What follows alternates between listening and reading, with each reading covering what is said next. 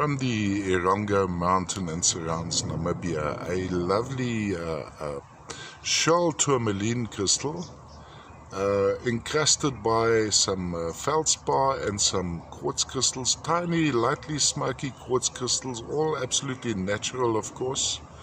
Is this a floater? Quite possibly it's a floater.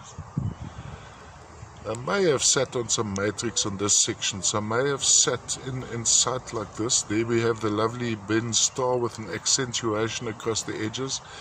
This, this edge has minor contact, hardly noticeable. I think in the still pictures is where I actually first saw it, once I was processing them. So, um, only noticed on finer inspection.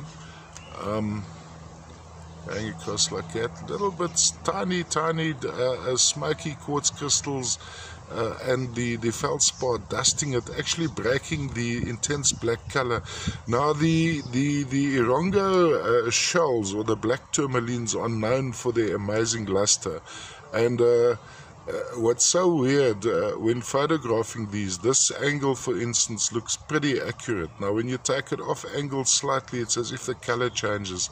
They are actually dark, deep, rich black. Lovely form, bright, lustrous. Um, all the way from Namibia, Erongo and surround. Schorl tourmaline with uh, smoky quartz and lightly smoky quartz and uh, feldspar crystals and this is how I display it going around like this. And then also on the sides you have Lemurian writings on the quartz now these Lemurian writings would almost be sideways so you'd be looking at them like this. Look at that. Quite quite lovely. All the way around like this. And let's have a look at the face again. The V the bends. There we go